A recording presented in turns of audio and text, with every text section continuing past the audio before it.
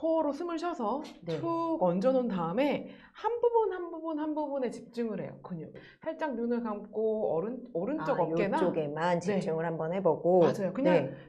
그쪽에 집중만 해보세요 네. 정말로 눈에 보이진 않아요 그냥 저만 느끼는 거거든요 네. 예를 들면 제가 사진 잠깐 잡아볼게요 네.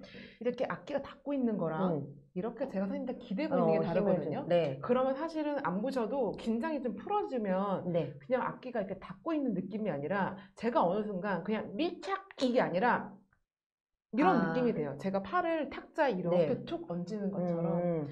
그래서 그런 긴장을 풀어주는 걸 한 부위 한 부위 한 부위 저는 좀 생각을 했던 것 같아요. 이게 물이 아, 찰랑찰랑 이 물이 공기라고 치면 얘를 저희가 탁 올려서 소리를 내야 되잖아요. 이 압력을 가지고. 네. 압력. 그쵸? 이 압력이 필요한데 그 압력이 있으려면 당연히 이걸 컨트롤할 수 있는 무언가가 필요한데 네. 그게 저희가 이제 밑에 있는 배힘이라고 이게 빨대가 이렇게 꽂혀 있었어요. 저희가 숨을 되게 잘 쉬었어요. 음. 다행히도 밀도도 올라오고 올라왔는데 이 빨대 부분 윗부분에서 아주 단단하게 뭔가 잡고 있는 거예요. 굉장히 음. 불편하죠. 나가지 않게. 네. 그렇죠. 옆에서 여기 힘을 잡고 있거나 여기 힘을 꽉 쥐고 있는 건 기껏 숨을 잘 쉬어놓고 저희가 여기를 꽉 붙들고 있는 거나 마찬가지거든요. 맞아요. 제가 항상 많이 유학 중에도 그렇고 지금도 그렇고 모토로 생각하는 건 I will 일단 하겠다. 또는 네. 주변에 선생님들이 무슨 말씀해 주시면 아난 안 돼. 이거 말고 음. 말씀해 주시면 뭔가 맞으니까 말씀해 주시겠지? 음. 라고 일단 그냥 일단 받아들여요. 네. 내가 믿는 내가 좋아하는 내가 사랑하는 선생님